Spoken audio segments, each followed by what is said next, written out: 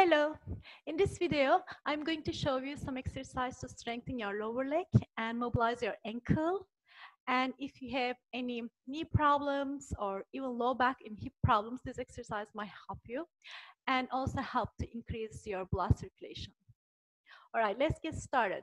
Before you start, you need a chair and folded towel or cushion, something thick and maybe a strap like this. If you don't have a strap band, you can use a towel, long towel or dog leash, belt, anything like long, all right? So let's get started with the first exercise. So you have the cushion or thick towel, placed underneath your knees, make sure it's even and lay all the way down. You can also support your neck if you feel like your neck is arching. Relax your arms by your side starting with your point and flex both ankles for 10 times. Point, flex, point, flex. Try to relax the rest of the body. Just moving your ankles, point and flex, point and flex. Seven, eight, nine, and 10. Now we're gonna circle out to side, both foot, both feet three, four, five, six, seven, eight, nine, ten. And then rotate the opposite direction. Your heel bones on the floor. You're rotating your ankles. Try to point your toes and flex your toes. Three more, two more, and last one.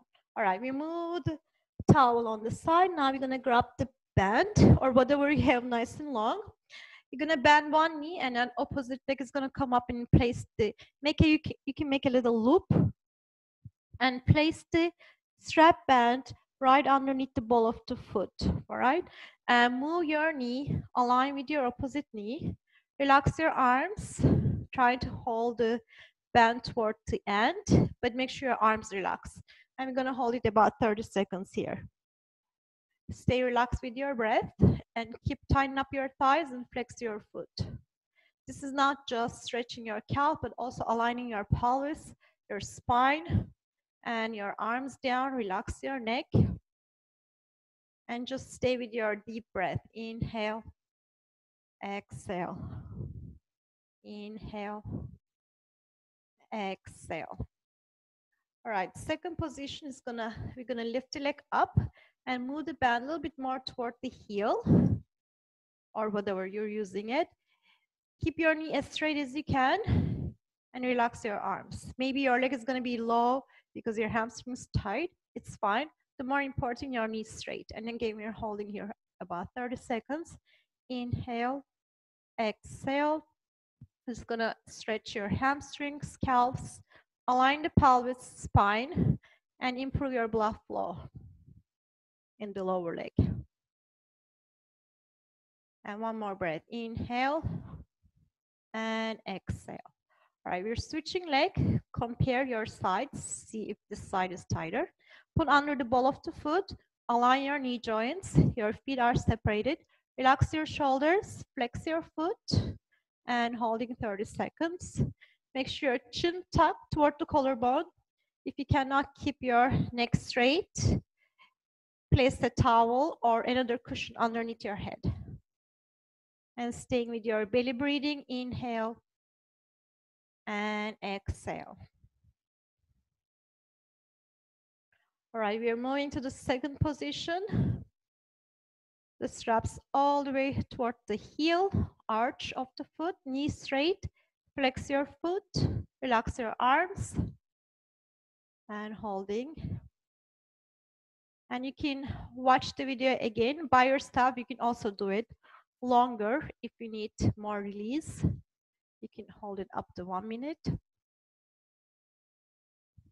One more breath. Inhale and exhale. All right, our next exercise called cross crawling. This is not just uh, for your lower leg, but the entire body is gonna be working together. First, relax everything down. Make your hands, um, keep, your, keep your hands by your side. You're gonna lift opposite arm, opposite leg, nice and firm. with your knee bent and your arm straight. And you're exhaling every time you lift, inhaling lower down. You're not squeezing your abs here. You're just relaxing your abs and back, but keeping your arms and legs firm.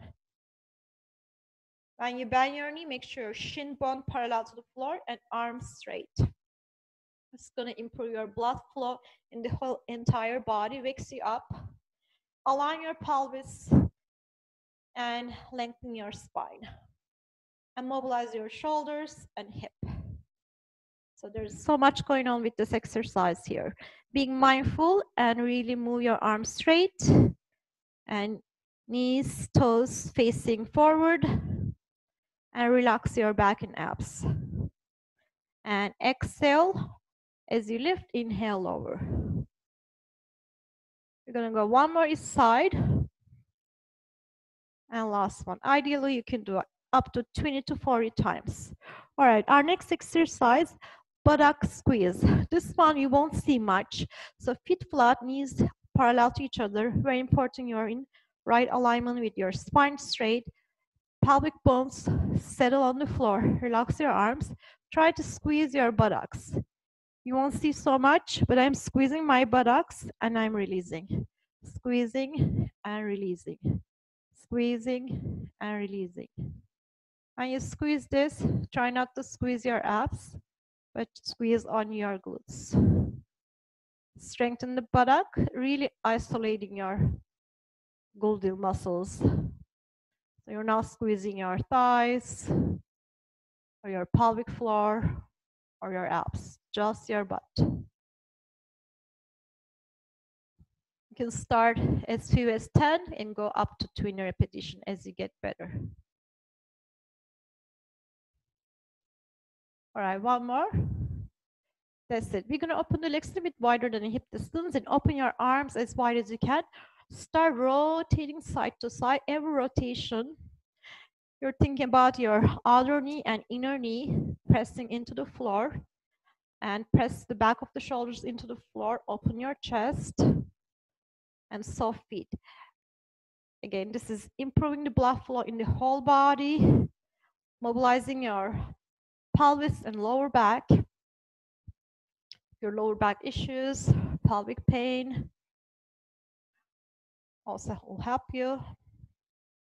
But any exercise you're doing, you're feeling any pain, sharp pain, always stop. This exercise, just the standard exercises. If you need something very specific, then you really need to work with a therapist.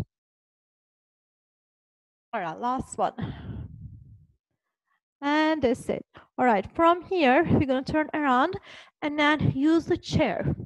So grab a chair, something chair that has a end like this so you can dangle your legs. And you can also use a towel too. So I'm gonna get as close as you can to the chair. If the chair is too low, you might need to elevate your legs a little bit to uh, with the towel. So very important, your knees align with your hip and your knees align with your ankles. So again, the chair shouldn't be too low and too high.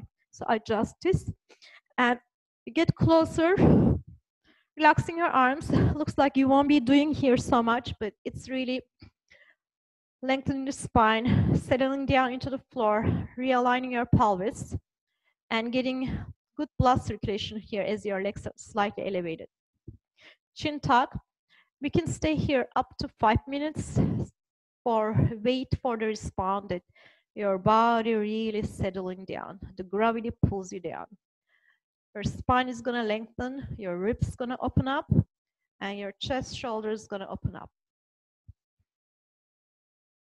And we're staying with the breath.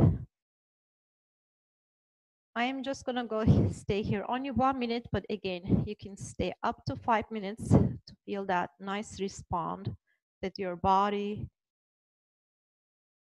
lengthening on the floor, your pelvis settling down into the floor.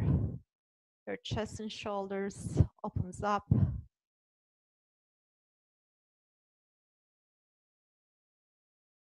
And blood circulation in the whole body moving.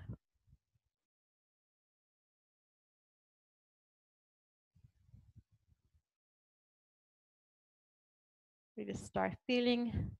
The gravity pulls you down, the back of your ribs, back of your pelvis, settling down into the floor, lengthening the spine, the back of your shoulders, grounding on the floor.